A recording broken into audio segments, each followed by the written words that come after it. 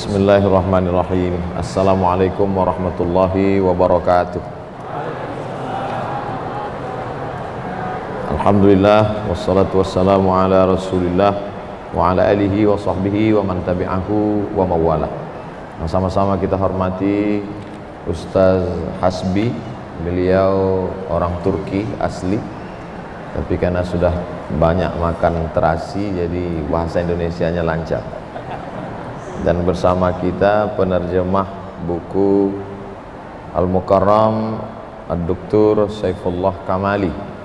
Kita merasa dimuliakan, dihormati diagungkan Allah bisa duduk bersama orang-orang baik.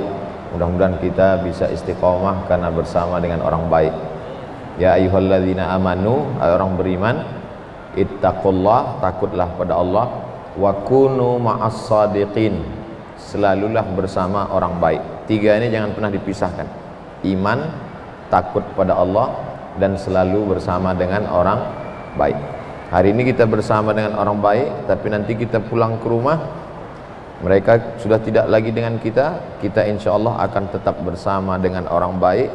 Khairu jalisin fi zamani kitabun. Teman terbaik adalah buku dan salah satu bukunya adalah biografi Badi'uz Zaman Said Nursi rahimahullah. Untuk almarhum Badi'uz Zaman Said Nursi Al-Fatihah. A'udzubillahi minasyaitonir rajim Bismillahirrahmanirrahim. Alhamdulillahirabbil alamin arrahmanir rahim Maliki yaumiddin iyyaka na'budu wa iyyaka nasta'in. Ihdinas siratal mustaqim. Siratal ladzina an'amta 'alaihim ghairil maghdubi alaihim waladdallin. Amin. 25 menit saya akan sampaikan materi buku ini. 25 menit buku 99 tanya jawab sholat. Setelah itu baru tanya jawab.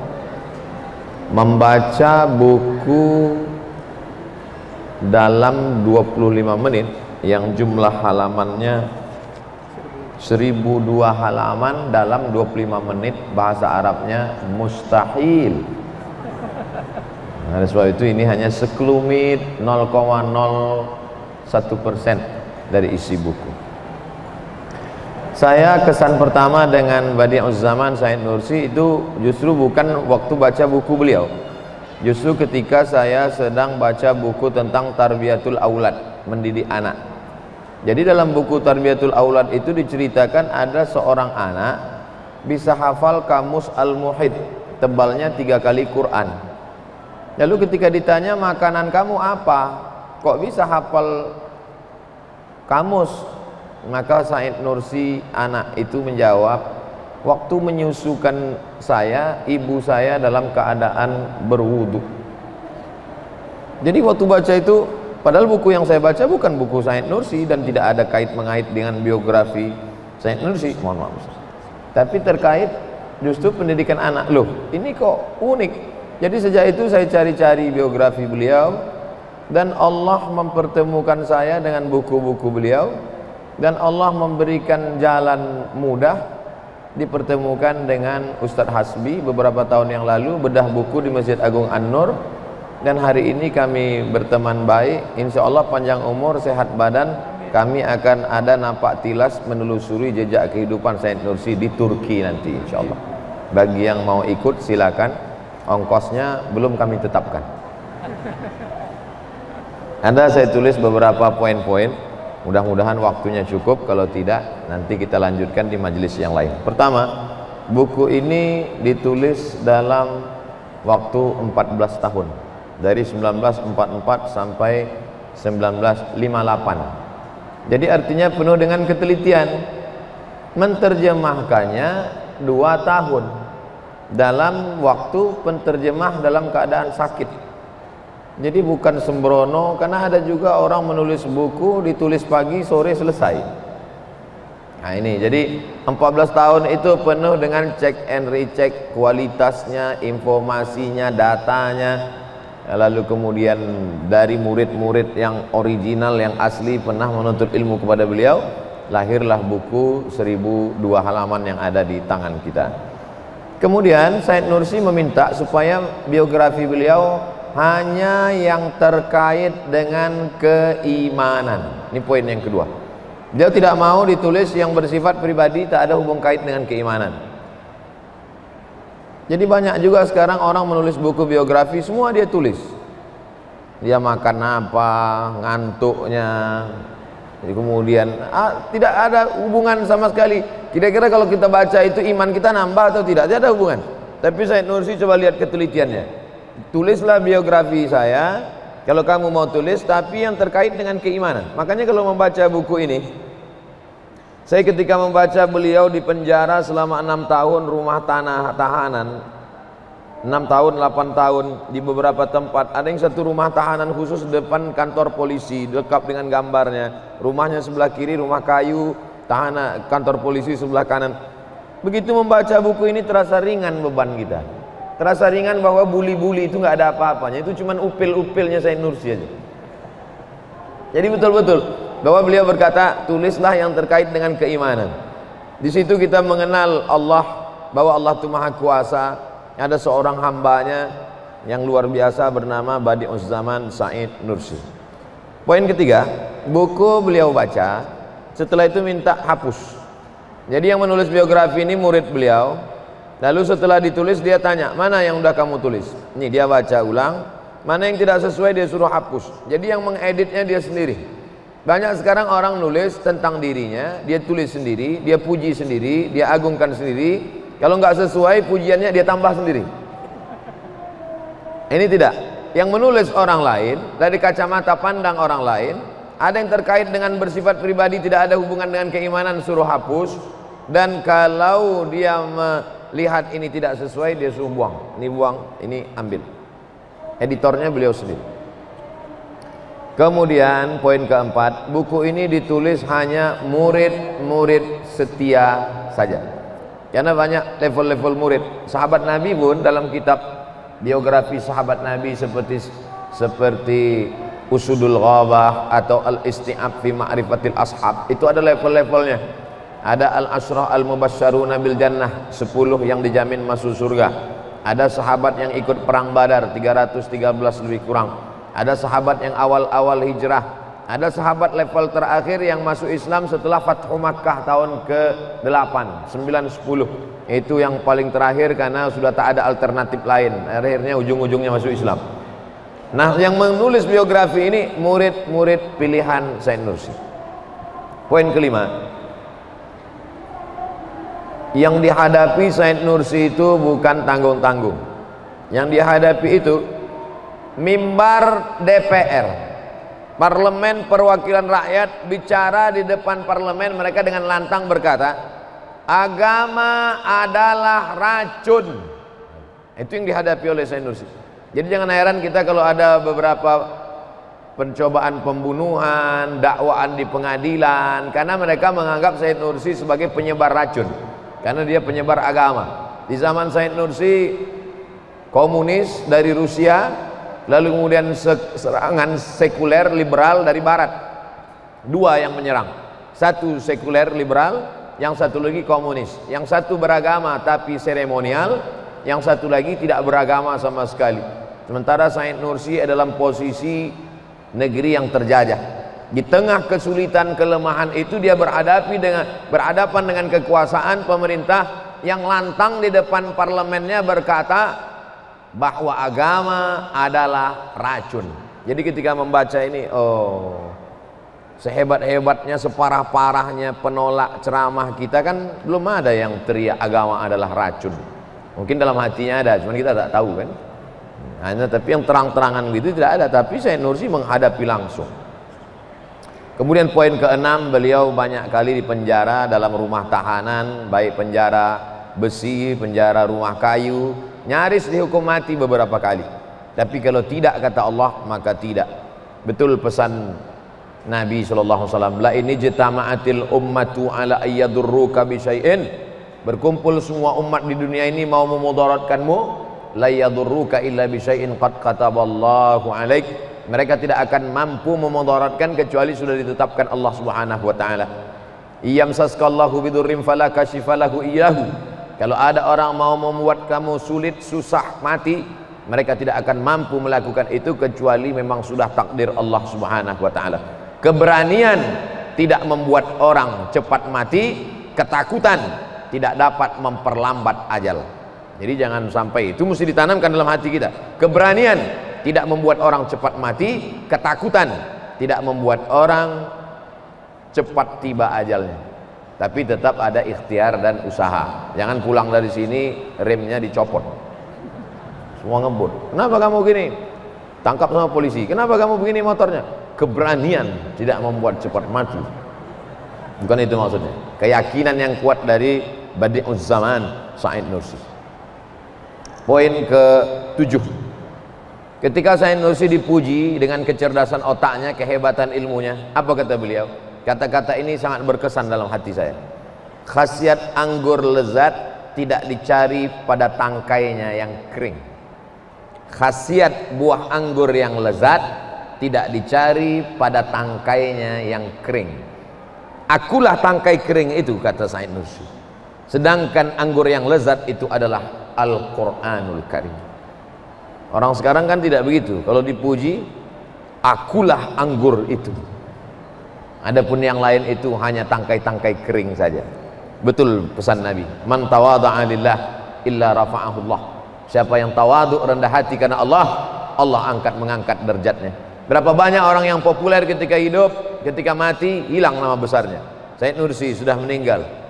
Tapi sampai hari ini masih dikenang sepanjang zaman. Badi'uz zaman. Orang yang amat sangat hebat, terkagum, terpopuler, termasyhur di zaman ini.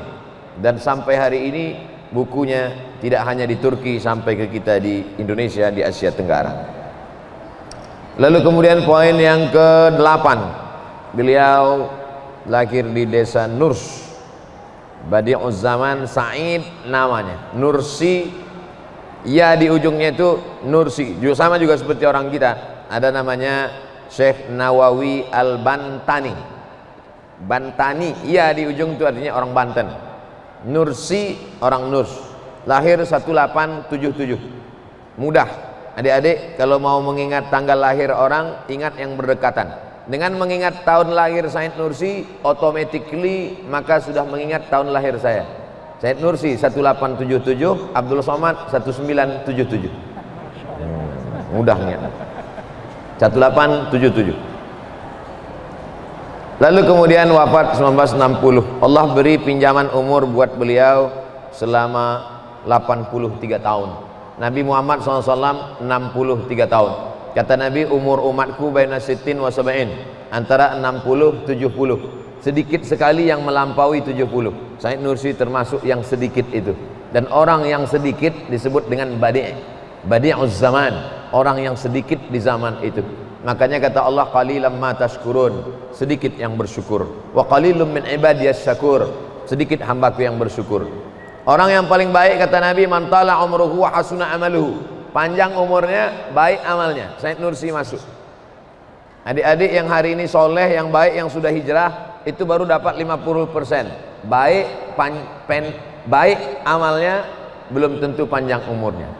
Abdul Somad ngasih pertengahan belum tentu panjang tapi beliau sudah mencapai itu Pala umruhu panjang umurnya wa hasuna amaluhu baik amalnya ada orang panjang umurnya, kerjanya warung kopi mabuk, warung kopi mabuk, batuk mati.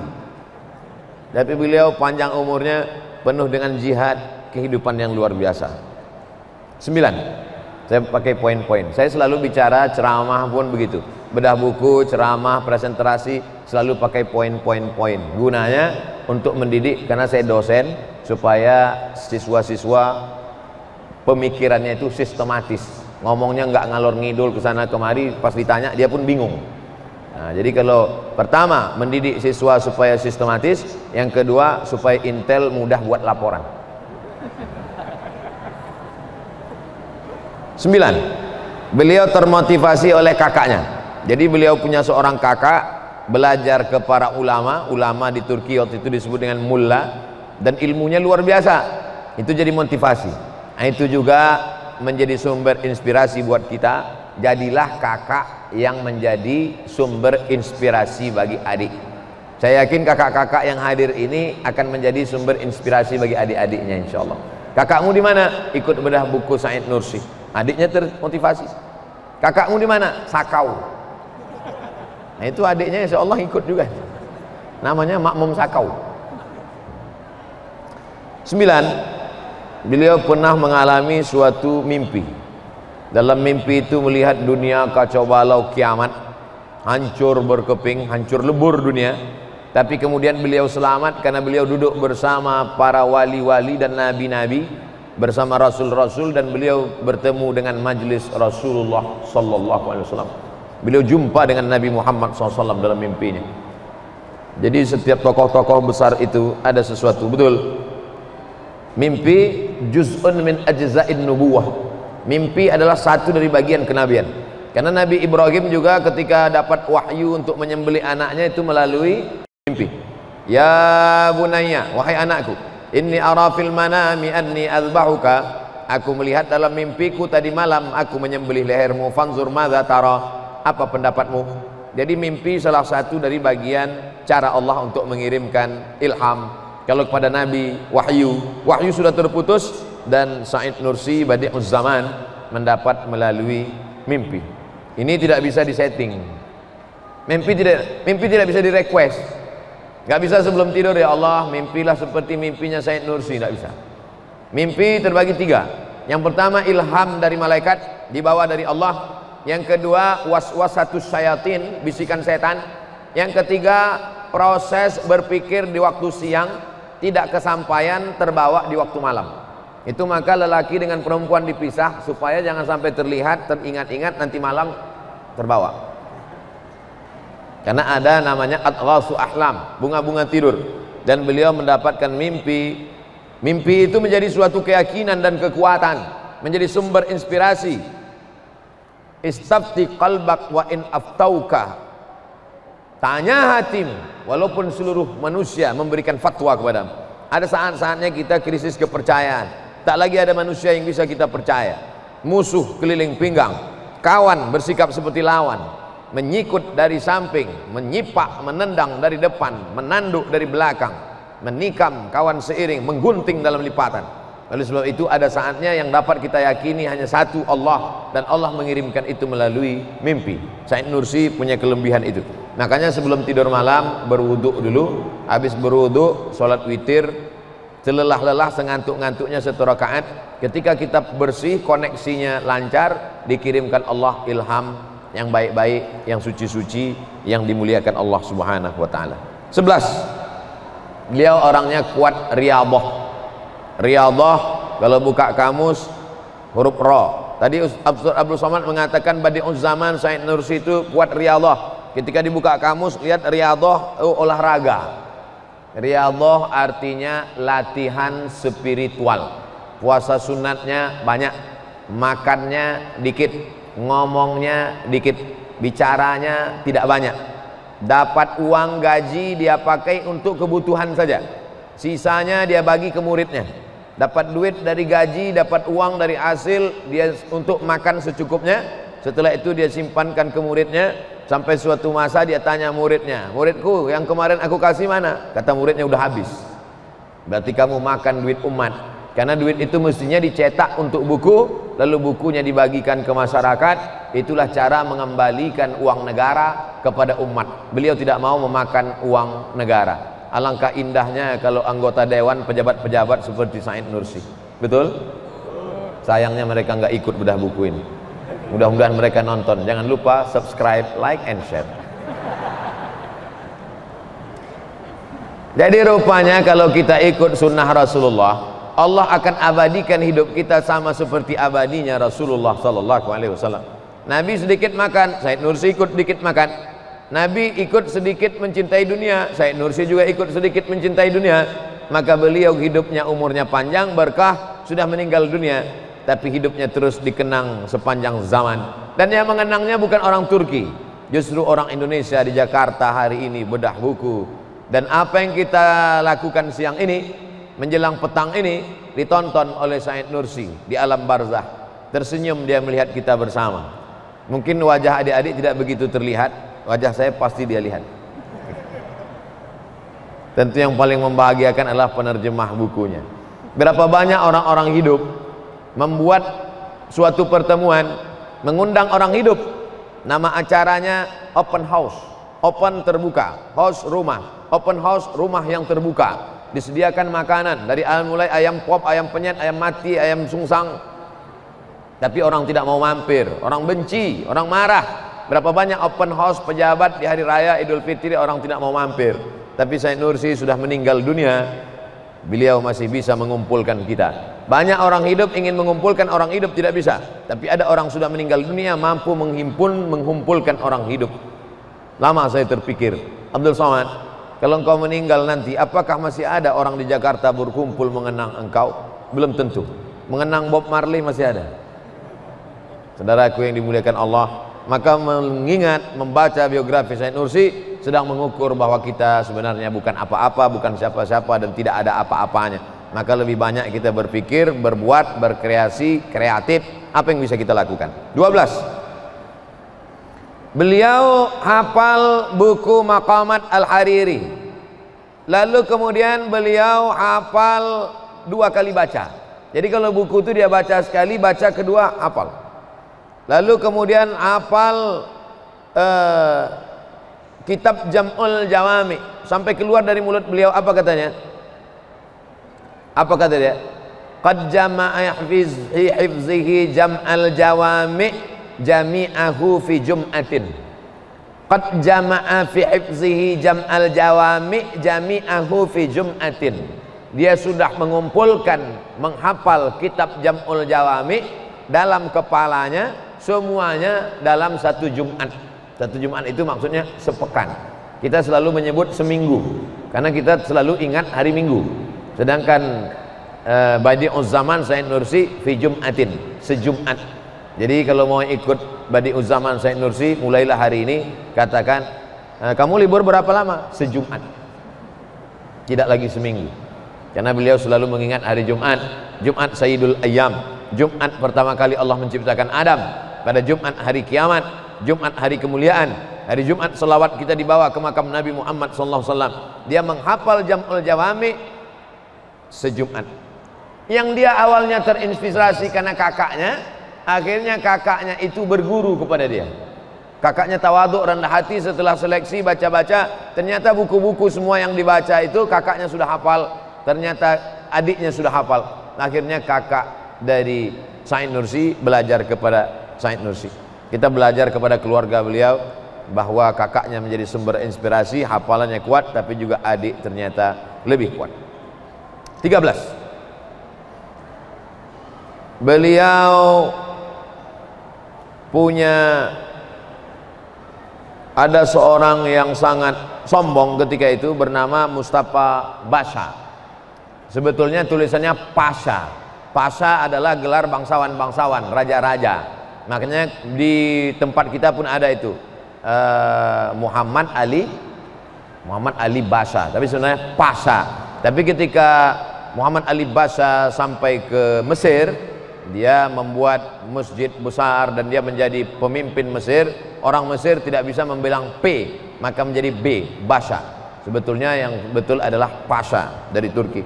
Mustafa Pasha ini sombong sekali angkuh orangnya lalu kemudian suatu malam bermimpilah Said Nursi bahwa datang Abdul Qadir Al-Jilani wali Allah yang disebut dengan Sultanul Aulia Abdul Qadir Jilani datang dalam mimpinya dan berkata Wahai Said Nursi, pergilah engkau menemui Mustafa Basa dan bunuhlah dia.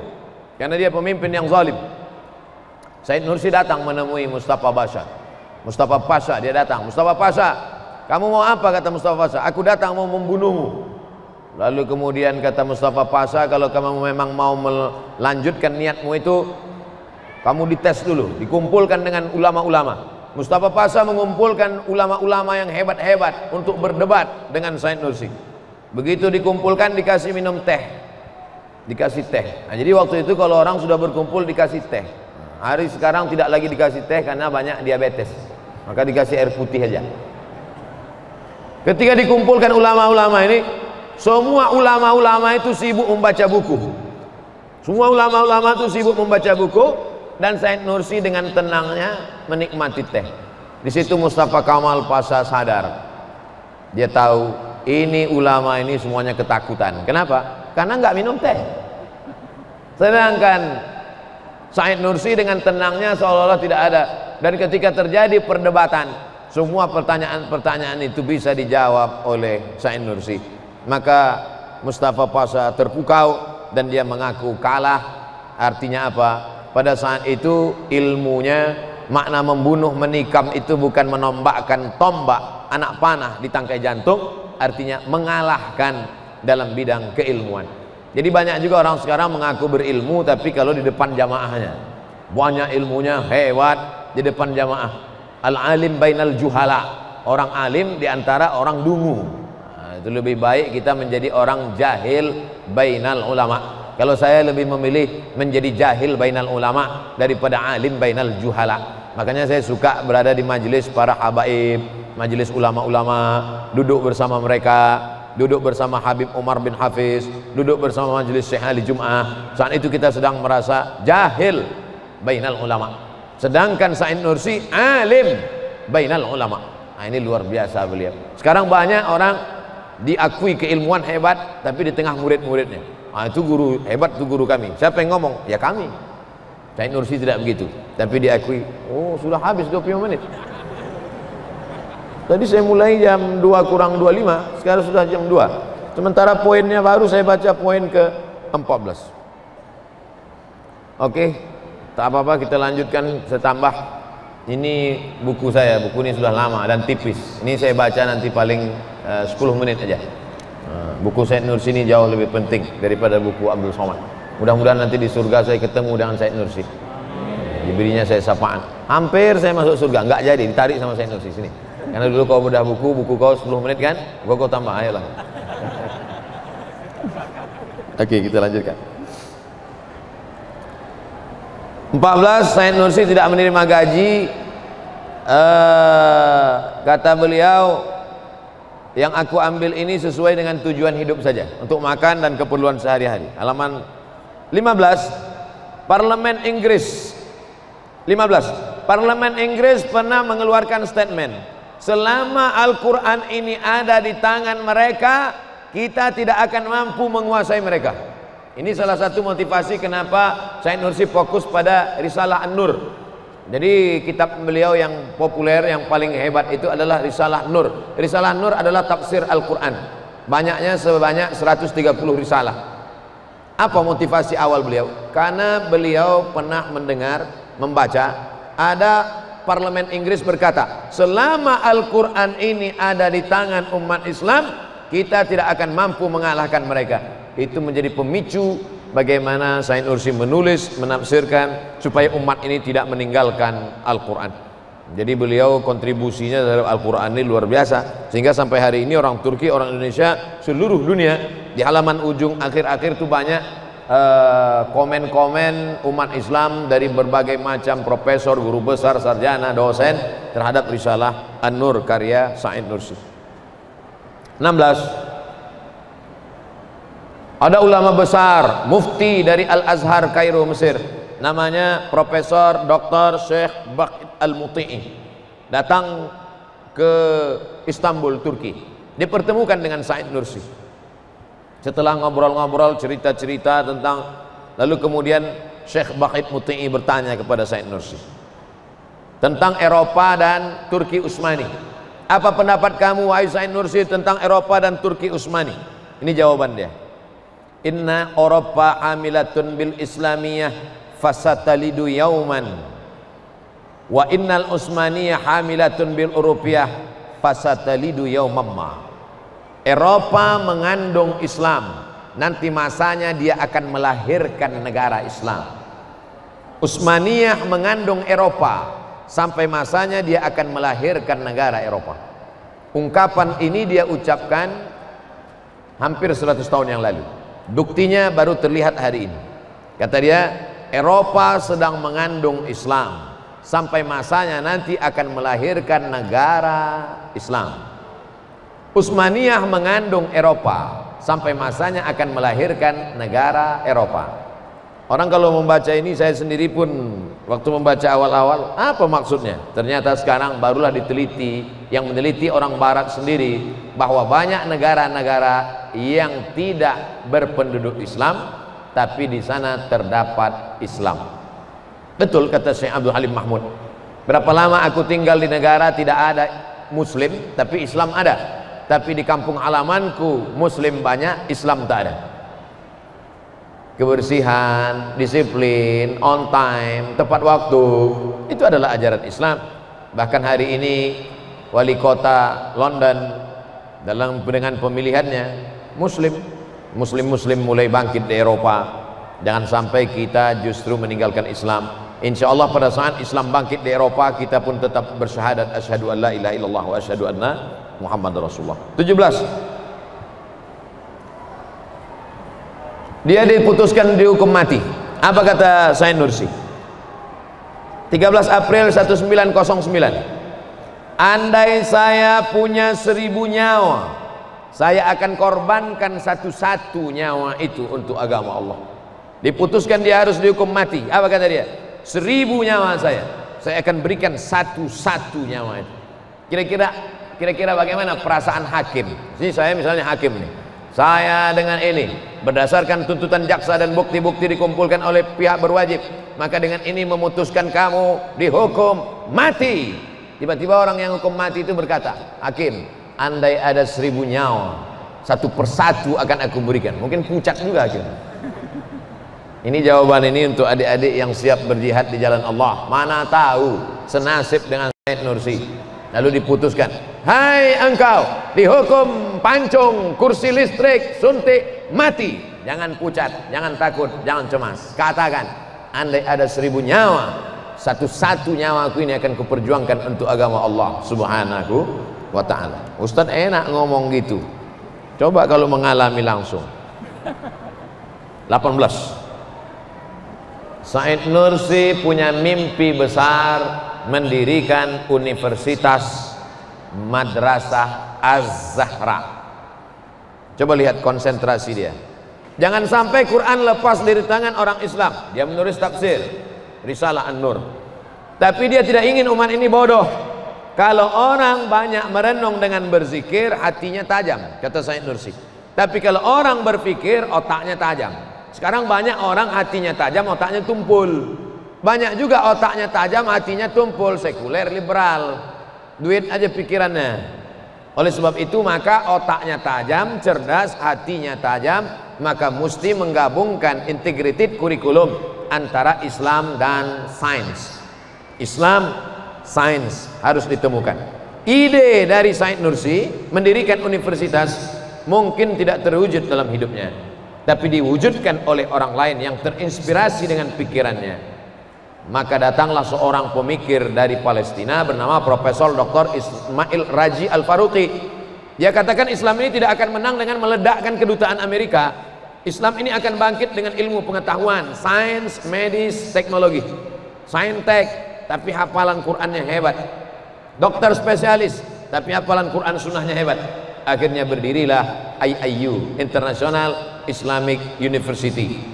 Dari Said Nursi menular ke orang Palestina Ismail Raji Al-Faruqi akhirnya berdiri IIU awal-awalnya di dunia ini dua. Satu di Pakistan. IIU Islamabad International Islamic University. Satu lagi di Gombak.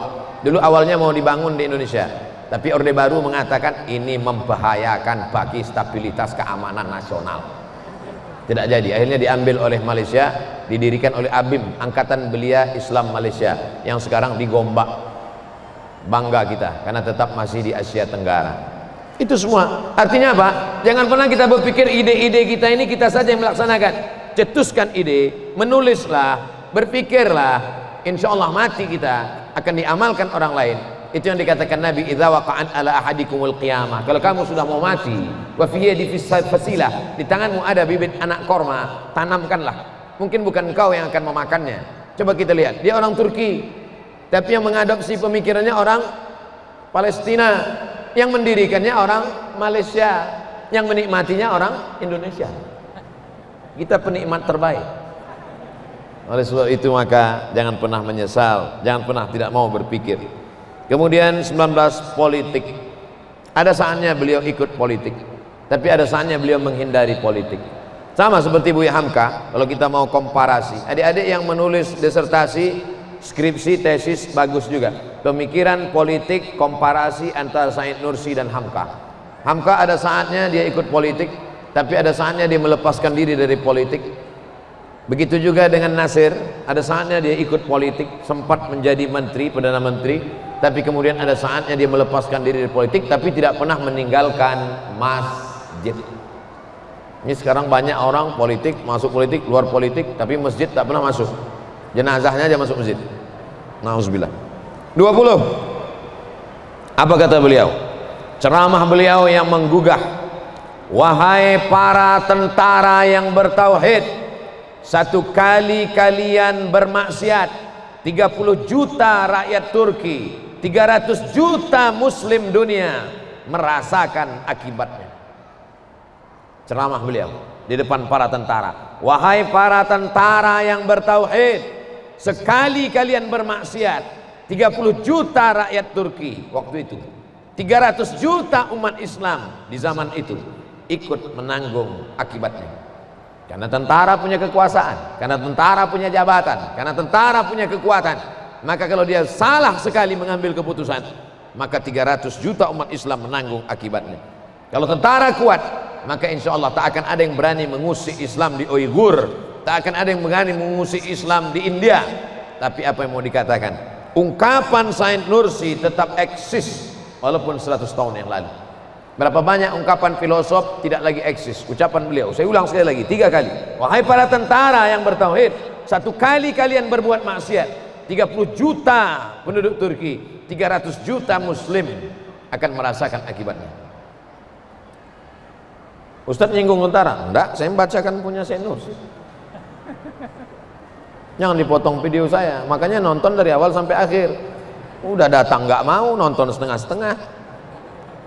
Poin 21 wahai penguasa wahai penguasa ini ceramah beliau. Wahai penguasa ubah istanamu jadi universitas.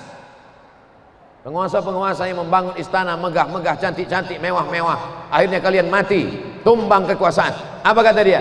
Ubah istanamu jadi universitas bangunlah istana biasa-biasa saja tapi dirikan universitas. Wahai bupati-bupati, gubernur-gubernur wali kota-wali kota yang ingin membangun rumah dinas besar-besar, megah-megah robahlah itu menjadi pembangunan universitas di setiap kabupaten, kota dan provinsi. Itu tambahan dari saya.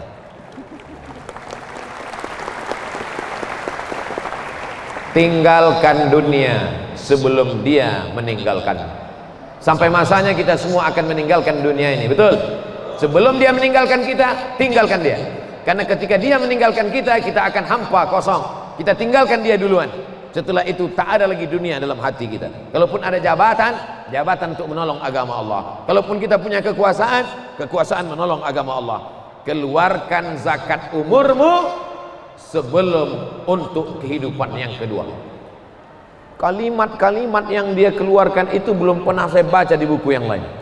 Karena memang saya tak banyak baca buku keluarkan. Pertama rubah istanamu jadi universitas. Dua tinggalkan duniamu sebelum dunia meninggalkan engkau. Tiga keluarkan zakat umurmu sebelum kau pindah ke kehidupan yang kedua. Selama ini yang saya tahu zakat fitrah zakat dagang, zakat emas tapi dia tidak. Dia berkata keluarkan zakat umurmu sebelum kau pindah dalam kehidupan yang kedua. Artinya apa? Umur mesti dipakai untuk menolong agama Allah. 22 Eropa mengandung Islam akan melahirkan negara Islam. Dua kali dia ulang. Eropa mengandung Islam akan melahirkan negara Islam. Ternyata yang mengungkapkan ucapan ini adalah seorang berkeluarga negaraan Amerika tapi dia berasal berdarah keturunan Yahudi. Apa kata beliau? Eropa negara yang besar di Eropa adalah Paris Prancis Prancis diisi oleh tiga imigran.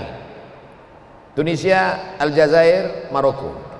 Spanyol diisi oleh imigran dari Maroko. Maroko nyebrang Gibraltar naik ke atas Jasiras Spanyol Real Madrid Barcelona Manchester United Inggris Inggris diisi imigran muslim dari tiga India, Pakistan, Bangladesh. Jerman diisi oleh imigran dari Turki. Maka apa kesimpulannya? Eropa sebelum habis 2050 sudah dikuasai oleh muslim. Turki, Perancis, Spanyol, Inggris. Negara-negara besar Eropa diisi Islam. Kenapa begitu? Karena orang Islam kalau sudah pindah ke suatu tempat, anaknya banyak. Bule nggak mau punya anak. Berapa banyak orang Jerman mau dikasih biaya kalau mau punya anak ditanggung sampai dokter. Mereka nggak mau punya anak hidupnya dan sebagian mereka mati tidak punya anak kenapa LGBT LGBT laga pedang nggak menghasilkan apa-apa akhirnya mereka punah dengan sendirinya. Rupanya tesis bahwa Eropa mengandung Islam Eropa sedang mengandung Islam sudah 9 bulan 10 hari lagi meledak ini Islam. Ketakutan yang luar biasa maka dimunculkanlah Islam Islamphobia Islamophobia Islam ini orangnya radikal. Islam ini kalau datang nanti akan membunuh tapi mereka tidak bisa mengalahkan itu. Ini sudah takdir Allah. Eropa akan Islam. Karena Nabi dulu bersumpah kamu akan mengislamkan Rom. Disangka orang Rom itu Damaskus? Bukan. Disangka Rom itu adalah Konstantinopel? Sudah. Damaskus? Sudah. Konstantinopel? Sudah. Ada satu lagi yang belum. Rom Eropa oleh sebab itu yang ngomong bukan Abdul Somad. Saya termasuk tidak berani mengeluarkan statement. Saya hanya ngomong ngutip pendapat orang aja. Sedang ngutip aja kena bully. Bukan kata saya. Bukan kata saya. Kalau mau bully janganlah saya. Dua tiga. Politik bisa sebagai pelawa, pelayan bagi hakikat Islam. Tapi jangan jadikan politik sebagai alat untuk mencapai tujuan. Dengarkan baik-baik. Menurut Said Nursi, Politik bisa sebagai pelayan bagi hakikat Islam. Hakikat Islam itu apa? Keadilan. Hakikat Islam itu apa? Memerangi kebodohan. Maka politik bisa dijadikan pelayan untuk mencapai tujuan Islam.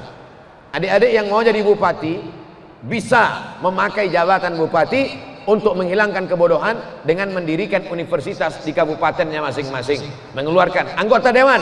Bisa kau jadikan politik itu sebagai pelayan untuk Islam. Sehingga dengan itu APBD tahun 2020-2021 untuk menyekolahkan anak yatim fakir miskin. Bisa. Tapi jangan sampai kau jadikan Islam sebagai alat untuk tujuan po politik. Pilih saya masuk surga. Tak betul saya ulang sekali lagi. Politik bisa sebagai pelayan bagi hakikat Islam tapi politik tidak boleh menjadikan Islam sebagai alat. 24 agama dan nasionalisme. Semua kerisauan saya selama ini terjawab dalam buku ini. Selama ini saya risau antara politik dan Islam politik dan Islam. Ada jawabannya. Sekarang antara politik nasionalisme dan agama. Sekarang dibenturkan ini antara agama dan nasionalisme kalau orang berteriak Allahu Akbar berarti anti Pancasila. Kalau orang berteriak Pancasila berarti anti agama. Lihat jawaban beliau. 100 tahun yang lalu beliau sudah berikan jawaban. Apa kata dia? Tentang agama dan nasionalisme. Semangat keagamaan dasar hak orang banyak. Nasionalisme pelindung dan pelayan kekuatan. Jangan benturkan antara agama dan nasionalisme. Semangat keagamaan dasar hak orang banyak. Saudaraku dasar haknya adalah agama. Saudaraku dasar haknya adalah agama. Saya dasar hak saya adalah agama. Nasionalisme saya sebagai seorang Indonesia melindungi dan melayani kekuatan. Oleh sebab itu tidak ada benturan antara agama dan nasionalisme. Sekarang krisis kita begitu. Kawan-kawan kita yang terlalu kuat agama mengatakan kalau kamu ikut Pancasila berarti kamu tawud, kafir kamu. KTP kamu harus dibakar. Tidak saudaraku. Dalam pribadi saya beragama. Tapi sikap beragama saya ini mesti dilindungi. Siapa yang melindunginya? Nasionalis. Nasionalisme. Paham? Saya aja nggak paham. Nggak bisa kita pahami semudah itu. Bahwa kita beragama itu dasar hak. Dasar hak kita masing-masing beragama, beragama, beragama. Tapi kita dilindungi, berkeyakinan, dilayani adalah dengan nasionalisme. Kami berbangsa satu, bangsa Indonesia. Berbahasa satu, bahasa Indonesia. Bertanah air satu, tanah air Indonesia. Kita dilindungi, dilindungi. Ekonomi kita dilindungi. Karena nasionalisme ini. Tapi kita punya hak untuk menjalankan agama kita masing masing. Kita dilindungi, ekonomi kita dilindungi, politik kita dilindungi. Termasuk negara-negara lain berani virus ini masuk, tapi di tempat kita tidak ada satupun yang kena corona. Hebat apa enggak? Enggak berani corona masuk. 25. Beliau tidak hanya berceramah, tidak hanya menulis tafsir, tapi beliau ikut perang, terluka, berdarah, di penjara bersama perang melawan Armenia, perang melawan Rusia, perang melawan di dalam politikus-politikus busuk yang ingin memfitnah memenjara, bolak-balik di sidang ratusan kali. Dalam diri Badi'uz Zaman Said Nursi bersatu antara syariat dengan hakikat. Dalam dirinya bersatu antara hakikat dengan jihad banyak orang kalau sudah mengaku hakikat pejam mata zikir. Dia tidak. Dia berzikir tapi dia juga berjihad. Dalam dirinya bersatu antara ceramah dengan menulis. Sekarang banyak orang ceramahnya hebat, tulisannya enggak ada. Yang satu hebat nulis, ceramahnya orang ngantuk. Badi Uzzaman Said Narsi pertemuan antara itu. Dalam kepala Said Nursi bercampur antara pendidikan agama dengan pendidikan umum karena beliau adalah motor utama yang mengkombinasikan antara jadi kalau adik-adik sekarang ada melihat sekolah SDIT, SMPIT dalam kepala ada fisika, biologi, kimia, matematika, bahasa Inggris tapi dalam kepala juga mesti ada Quran, hadis ada di dalam kepala ini fikih, akidah, akhlak maka itu adalah buah pikiran dari Badi'uz Zaman Said Nursi. Saya, saya yakin dan percaya di depan ini semua. Selama ini mungkin belum mengenal Said Nursi. Dengan mengenal maka kita menemukan jawaban-jawaban. Beliau sudah menggunakan hidupnya untuk agama Allah. Beliau meninggal sebagai salah satu syuhada yang disaksikan oleh para malaikat. Mudah-mudahan kita panjang umur bisa melaksanakan mengamalkan isi kandungan buku ini insyaallah. Amin. Ya rabbal alamin.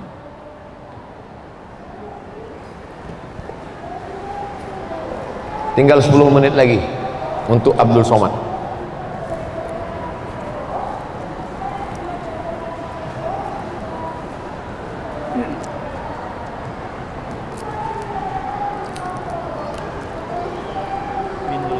ya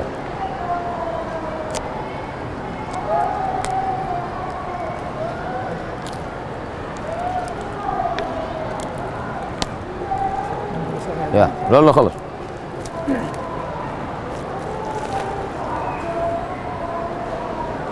Saya baca dari pertanyaan yang ke satu. Bukunya tanya jawab.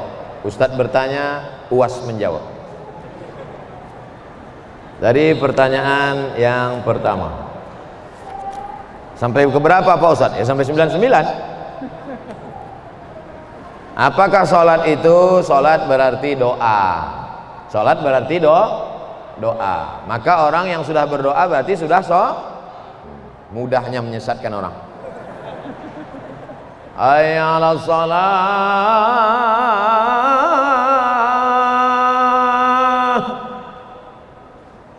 Dah. Kok nggak ke masjid? Sholat itu doa guys Sholat itu doa Tapi doa bukan Sholat itu doa Tapi doa bukan sholat Di dalam sholat itu ada doa Ihdinas siratal mustaqim صراط الذين أنعمت عليهم غير المغضوب عليهم ولا الضالين آمين ربي اغفر لي وارحمني واجبرني وارزقني واهدني وعافني واعف عني اللهم إني أعوذ بك من عذاب جهنم ومن عذاب القبر ومن فتنة المحيا والممات ومن شر فتنة المسيح الدجال doa betul tapi dalam sholat ada dua lagi akwalun ucapan wa af'alun gerakan tegak ruku sujud maka dalam sholat itu ada tiga pertama doa kedua ucapan ketiga gerakan. Kalau tidak ada tiga-tiganya maka sholat tidak sah. Dua. Apa dalil yang menunjukkan sholat itu wajib? Aqimus sholah. Alladzina yuqimuna sholah. Aqimis sholah. Dari hadisnya ada. Ada bunyal islamu ala khamsin. Islam ini dibangun di atas lima pilar pertama antas syahada ila ilaha illallah wa anna muhammadur rasulullah. Dua wa tuqimus shalah. Tiga wa tu'tiyaz zakah. Empat wa tusumu ramadan. Lima wa tahajjal bait in istata'ta ilaihi sabila lima pilar Islam. Dari awal tadi saya ceramah mereka sholat sampai sekarang nggak berhenti berhenti udah sejam. Tiga kapan sholat diwajibkan? Sholat diwajibkan sejak peristiwa Isra dan Mi'raj. Khamsin. Sholat itu awalnya 50 summa nuqisat dikurangi. Hatta ju'ilat khamsan sampai tinggal 5 summa dia kemudian aku dipanggil ya Muhammad. Wahai Muhammad sallallahu alaihi wasallam la yubaddalul qawlu ladayya wa inna bihadhil khams khamsin. Tak bisa lagi di amandemen wahai Muhammad sallallahu alaihi wasallam. Maka dengan kau laksanakan lima ini kau dapat lima puluh. Man jaa bil hasanati falahu asyru amsalihha siapa yang melaksanakan satu maka dia dapat sepuluh. Sekali solat sepuluh. Lima kali solat lima puluh. Empat. Kapan seorang muslim mulai melaksanakan sholat? Melaksanakan sholat umur tujuh tahun. Muru auladakum bis sholat. Suruh anak kamu sholat. Wahum abna usaba'an sinin. Berumur tujuh tahun sholat. Wadribuhum fil asrah. Pukul sepuluh. Tujuh suruh. Pukul sepuluh. Kalau tujuh tahun sudah disuruh sholat, berarti sebelum tujuh sudah hafal Al-Fatihah sudah hafal surat-surat pendek umur lima tahun ibunya sambil masak nasi goreng pagi anaknya mau sekolah masuk TK PAUD sambil baca surat pendek. Bismillahirrahmanirrahim. Qul huwallahu ahad. Allahu samad. Lam yalid wa lam yulad wa lam yakul lahu kufuwan ahad. Makanya anaknya insya Allah hafal. Ini ibunya sambil masak pagi, pulang-pulang berbadan dua. Makanya anaknya pulang hamil. Lima. Apakah sholat mesti dilaksanakan berjamaah? An-Nisa 102. Wa idza kunta fihim fa aqamta lahumus shalah. Ketika kau sedang berada bersama mereka wahai Muhammad sallallahu alaihi wasallam saat perang kau jadi imam salat mereka. Saat perang jadi imam sholat namanya sholat khauf sholat khauf artinya sholat takut sopnya di baris dua Nabi jadi imam baris pertama baris kedua. Baris pertama sholat baris kedua megang tombak anak panah mengamati musuh dari depan dari belakang. Selesai dua rakaat baris yang belakang maju ke depan yang barisan depan mundur ke belakang mengawal. Sholat itu disebut dengan sholat khauf tapi sholat berjamaah tetap tidak gugur. Sedangkan perang saja tetap sholat berjamaah apalagi Islamic book fair sedang perang aja tetap berjamaah apalagi cuman pameran buku ini sekarang banyak kamu kenapa nggak sholat berjamaah duduk di pelaminan Pak Ustaz pas nikah nggak sholat berjamaah di awal hari pernikahannya udah nggak sholat berjamaah gimana barokah datang gimana anaknya mau jadi anak soleh Salatul jamaati tafdulu salatul fadhi bi sab'in wa ashrina darajah. Salat berjamaah lebih utama daripada salat sendiri 27 derajat. Kamu enggak salat berjamaah? Alah cuma 27 aja kok. Ngitungnya jangan satu. Ngitungnya setahun. Nih adik-adik yang baru hijrah sudah istiqomah berapa tak berapa lama sudah istiqomah salat berjamaah? Alhamdulillah Ustaz sudah istiqomah selama setahun. Setahun istiqomah salat berjamaah berarti setahun 27 berarti 27 tahun bapak-bapak yang udah istiqomah 10 tahun berarti sudah istiqomah 10 tahun 27 tahun makanya umur yang paling pendek umur umat Nabi Muhammad tapi kelipatan amalnya yang istiqomah setahun 27 tahun yang istiqomah 10 tahun 270 tahun oleh sebab itu memang kita paling kecil Memang umur kita paling pendek, tapi kelipatan amal, makanya kita lebih dulu masuk surga dari yang lain. Amin. Ya Rabbal Alamin. Selesai Nabi sholat, Nabi tanya, nih, mana tadi si Anu, kenapa tidak sholat berjamaah? layan tahiyanna mereka yang tidak sholat berjamaah kata Nabi SAW jangan ulang sekali lagi. Kalau mereka tetap mengulang juga sholat sendirian di rumah di kamarnya lau harriqanna alaihim buyutahum. Aku akan bakar rumah mereka kata Nabi sallallahu alaihi wasallam. Menurut ilmu usul fikih kalau ada ancaman itu menunjukkan wajib. Setiap ayat hadis yang mengandung ancaman keras itu menunjukkan wajib makanya di Saudi Arabia sholat berjamaah itu wajib kalau ada orang yang ketika azan berkumandang masih beli ceret kuning, masih belanja di mall, itu ditangkap sama uh, baladia. Baladia, baladia, baladia, baladia artinya Satpol PP. Satpol PP Syariah. Yang khusus menangani orang yang meninggalkan sholat berjamaah. Kira-kira kalau dibuat Satpol PP Syariah bisa apa nggak bisa? Bisa. Siapa yang membuatnya? DPR. Siapa yang milih DPR-nya? rakyat. Rakyat ingin supaya masyarakat sholat berjamaah. Tidak bisa lewat ceramah. Ceramah dari bawah dari atas lewat legislatif. 45 anggota Dewan Kabupaten mengeluarkan perda syariah. Perda syariah. Ada Satpol PP yang digaji oleh Pemda Kabupaten Kota untuk mengawasi sholat berjamaah. Yang ketangkap sholat berjamaah akan dibawa ke kantor Satpol PP setuju apa enggak setuju? Enggak ada yang setuju ya gagal perdanya. 6 apa saja keutamaan sholat berjamaah? Pertama mendapatkan kelipatan 25 27 ada hadis nyebut 25 yang kedua dijauhkan dari setan.